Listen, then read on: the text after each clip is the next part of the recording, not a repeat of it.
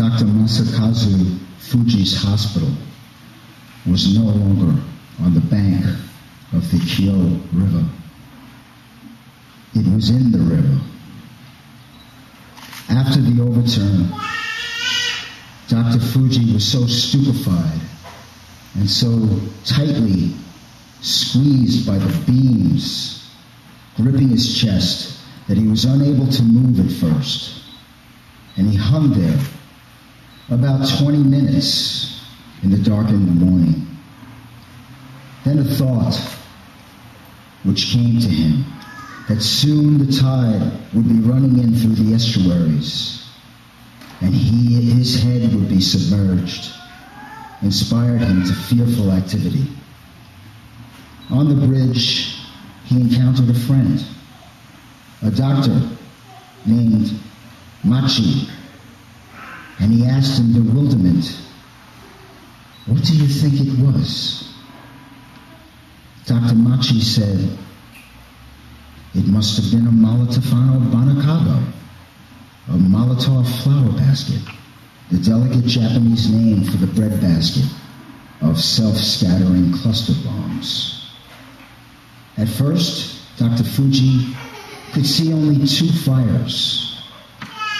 One across the river from his hospital site, and one quite far to the south. But at the same time, he and his friend observed something that puzzled them, and which, as doctors, they discussed, although there were, as yet, very few fires. Wounded people were hurrying across the bridge in an endless parade of misery, and many of them exhibited terrible burns on their faces and arms. Why do you suppose it is? Dr. Fujii asked. Even a theory was comforting that day, and Dr. Machii stuck to his. Perhaps because it was a Molotoffano hanakago flower basket, he said. There has been there had been no breeze earlier in the morning when Dr. Fujii had walked to the railway station to see his friend off. But now brisk winds were blowing every which way here on the bridge. Here on the bridge the wind was easterly, and new fires were leaping up, and they spread quickly. And in a very short time, terrible blasts of hot air and showers of cinders made it impossible to stand on the bridge anymore. Dr. Machii ran to the far side of the river and along a still unkindled street. In the biggest hospital, that of the Red Cross, only six doctors out of 30 were able to function, and only 10 nurses out of more than 200 were able to function.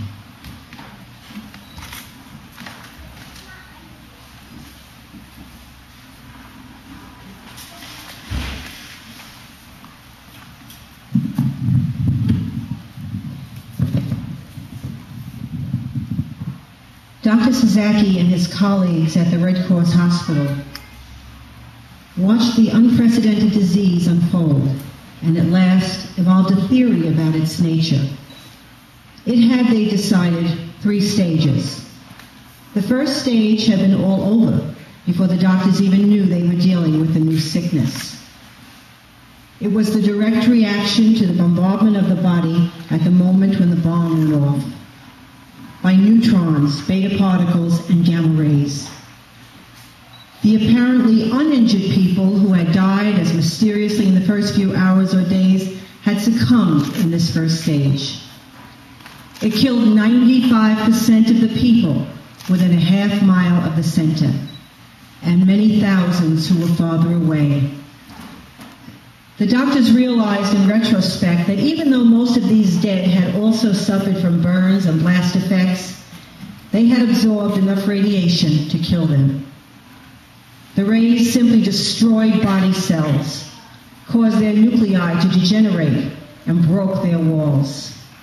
Many people who did not die right away came down with nausea, headache, diarrhea, malaise, and fever, which lasted several days.